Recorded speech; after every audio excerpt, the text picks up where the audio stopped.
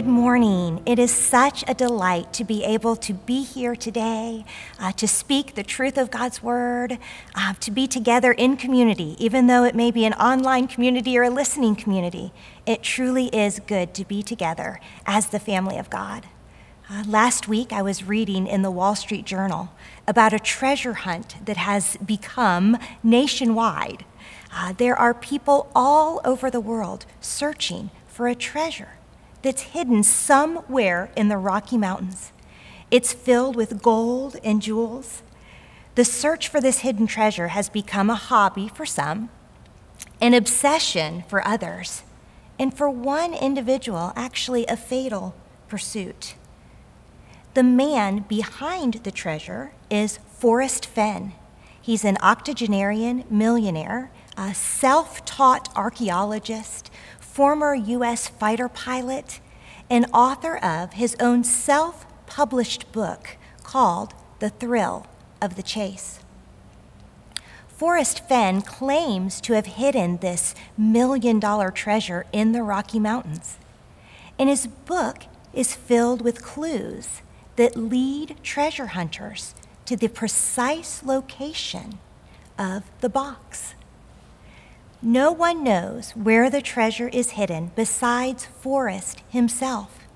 He does tell everyone that it is above 5,000 feet.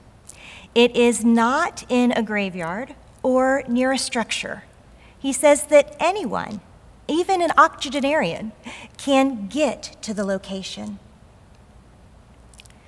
Scripture talks a lot about treasure. We see treasure as a theme weaved through many passages. Today, our scripture talks a great deal about earthly treasures. The first verse in our passage is Matthew 13 44, and we'll end with verse 46. The kingdom of heaven is like a treasure hidden in a field which a man found and covered up. Then, in his joy, he goes and sells all that he has and buys that field. Again, the kingdom of heaven is like a merchant in search of fine pearls, who, on finding one pearl of great value, went and sold all he had and bought it. These two short verses pack in two powerful parables. They're often told together because their meaning is so similar. The item they were searching for is considered so valuable to the person who found it that they went and they were willing to give up everything in order to obtain it.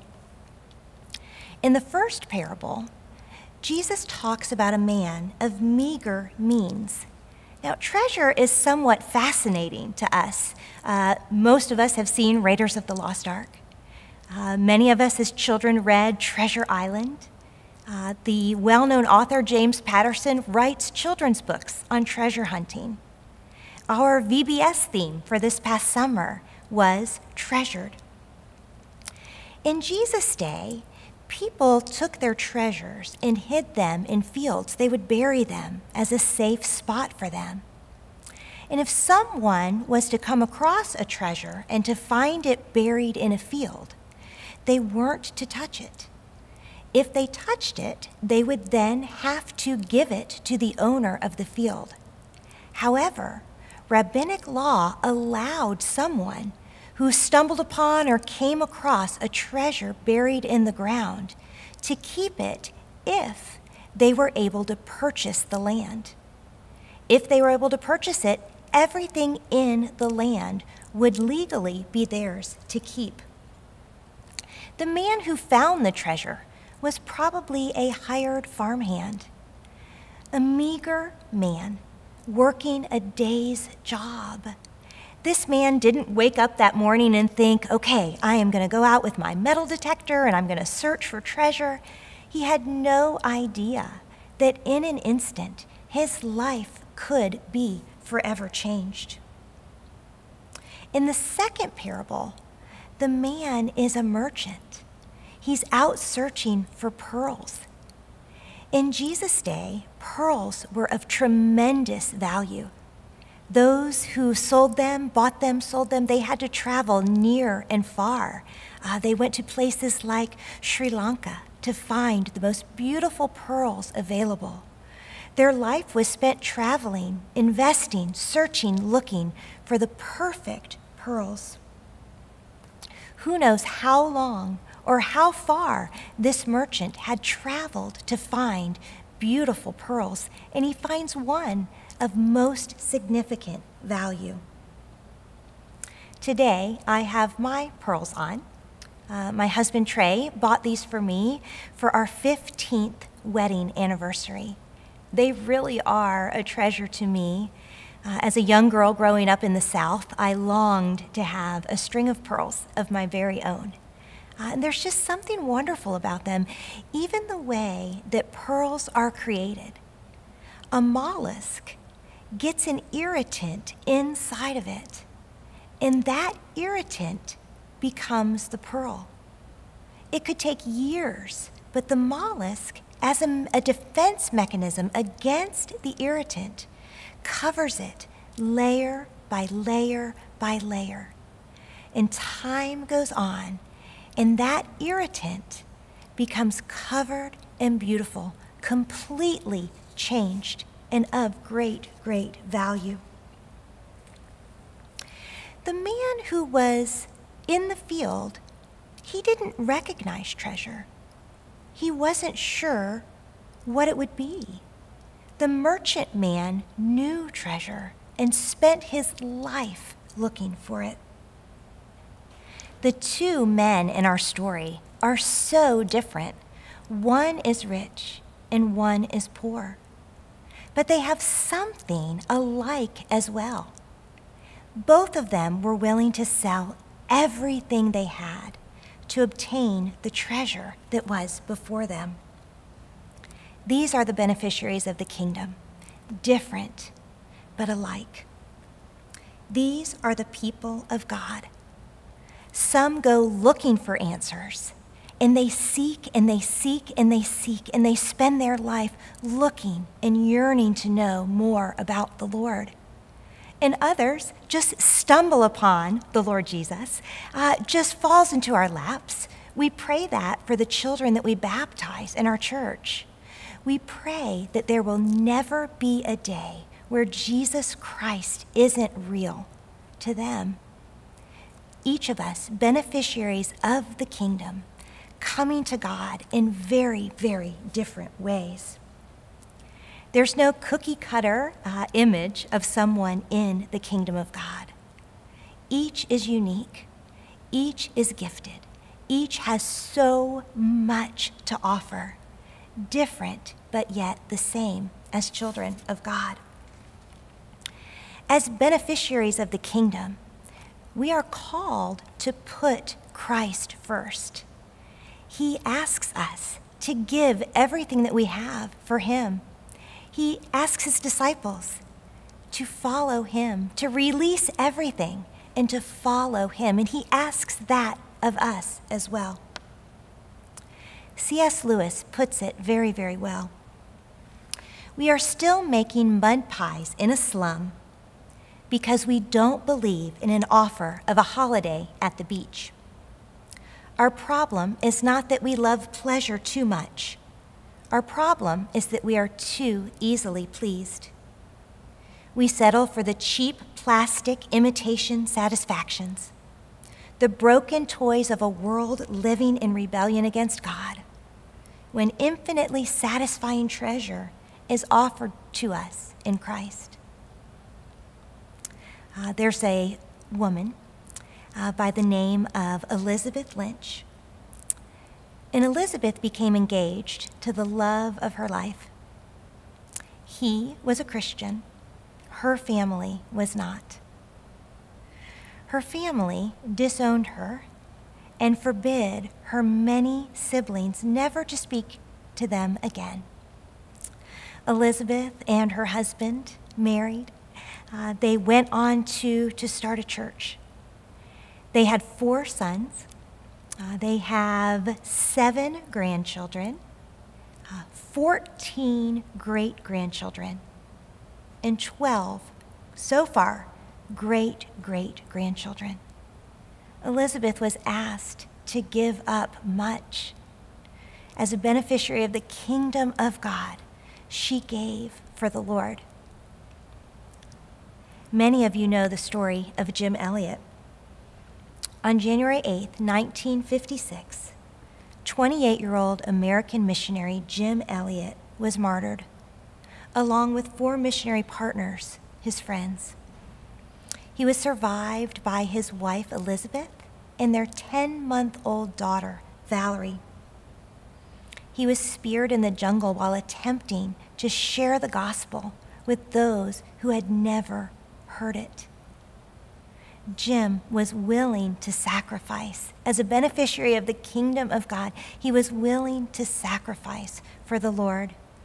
One of his most famous quotes says it well He is no fool who gives up what he cannot keep to gain that which he cannot lose.